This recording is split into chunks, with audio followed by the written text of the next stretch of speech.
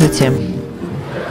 Добрый день, меня зовут Леонид. И вы знаете, у меня такой вопрос. Вот мы слышим очень много разговоров об усыновлении детей, но не приходило ли вам в голову, что это э, всего лишь борьба со следствием проблемы, которая заключается в том, что многие люди отказываются от своих детей.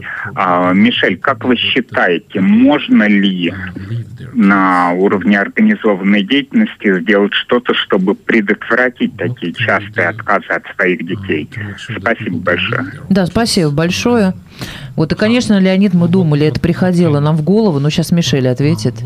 What can be done in this? Mm-hmm. Of course, there are lots of things, but but what mm-hmm. uh, what do you think is important? Oh, that's a hard one. I think that uh, сложный it, вопрос, большой вопрос. I think that that boils down to a cultural sense of um, of morals and, and values.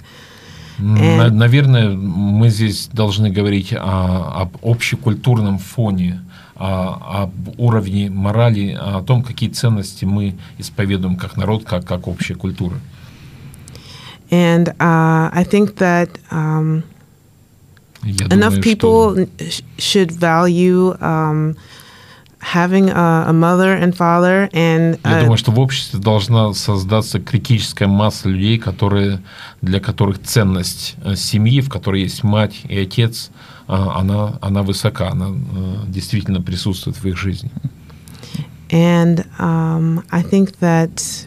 Um, и мне мне думается, что что вот это вот это, наверное, есть сам сам самое важное.